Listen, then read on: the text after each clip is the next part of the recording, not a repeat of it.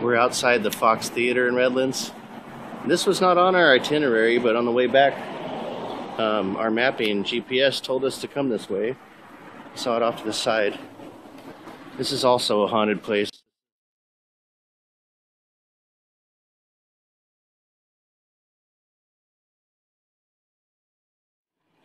It's got some cool balconies up there at the top. There's a lot of little shops. Fountain out front. I don't know if it's open for anything right now. But I'm gonna walk in and see what's going on.